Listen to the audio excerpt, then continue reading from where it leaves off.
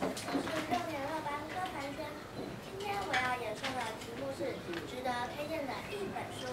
值得推荐的一本书，好书的定义是什么？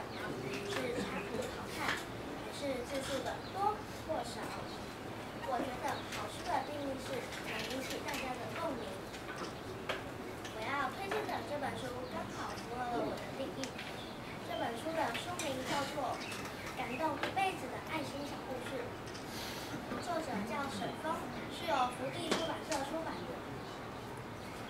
今天我要跟大家分享两个故事。第一个故事，最好的消息。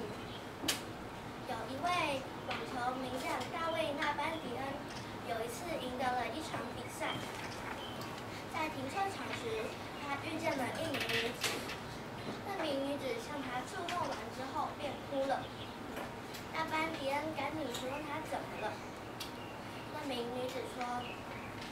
孩子病了，且病得不轻。而贫困的他无法支付他的医疗费用，那班迪恩赶紧在比赛赢得的支票上飞快地签了名，并送给了那名女子。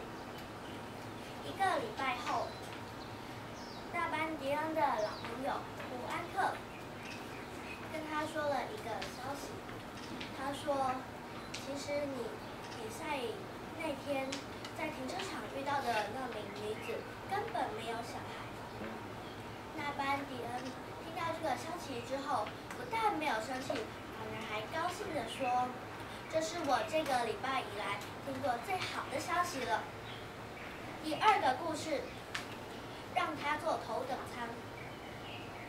有一天，史密斯先生和他的女儿要一起去芝加哥，可是买机票时座位却被分开来了。还好坐在女儿旁边的那位黑人非常好心。